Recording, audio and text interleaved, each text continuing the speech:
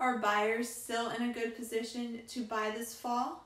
Now that summer has come to an end and fall is here, what are the experts saying about the housing market for fall 2022 for home buyers? The question is Is it still a good time for me to buy? Well, the short answer is yes.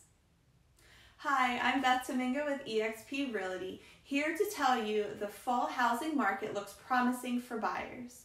According to Lisa, housing economist for Freddie Mac, and I quote, after the end of summer lull, and as mortgage rates stabilize, we may see a return of buyers and relatively strong fall housing market.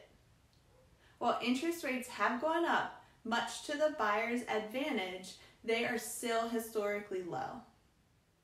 And along with increased inventory, more options continue to become available for home buyers in a market that is still competitive, but not one where home buyers are continuously outbid. This in turn gives buyers the opportunity to purchase while experiencing seller concessions that may not have been available the last couple of years. This can include closing cost credits, buy rate downs, and sellers covering costs of repairs.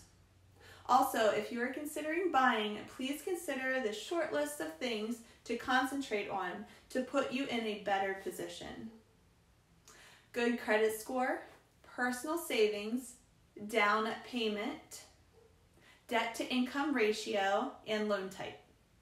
Combine this with more inventory, you as a home buyer are in a better position to purchase and they have more room to negotiate depending on what the home was originally listed for. But as always, consult your real estate professional for expertise, insight, and market updates.